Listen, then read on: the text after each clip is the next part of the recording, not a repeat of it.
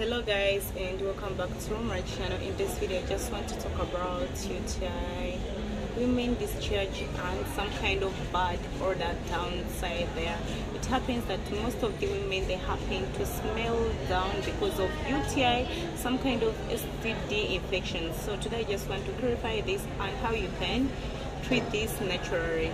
So when you get candida or uh, when you get some kind of infection it happens to be that you start getting inching down so your body starts inching yeah?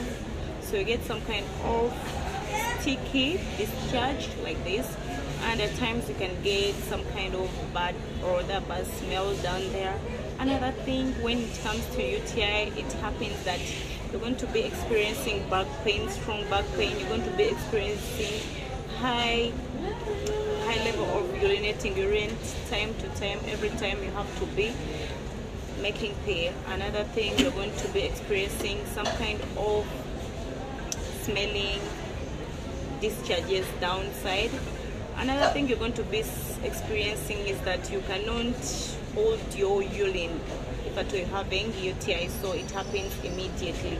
So in that case in today's video i'm just going to be giving home natural remedies. You can be using today we are going to be using only one remedy which is very effective. If at all you use it the same way i'm going to be telling you so you're going to be getting cold you're going to be using garlic cloves. You get garlic cloves smash them put them into a handkerchief then use them as your pad. As you pad yourself use that garlic put it into the handkerchief leave it there then place it on the mouth of the cervix on the mouth of your V so you press it there then you pad yourself let that smell go in and this is going to help your heal. Another thing you can do you can get you can get cloves powder cloves powder and you can get turmeric with garlic. Then put them into the bucket put it hot water so start steaming down. Okay put like pot onto the bucket and let that steam smoke go into you. This is going to help you to heal.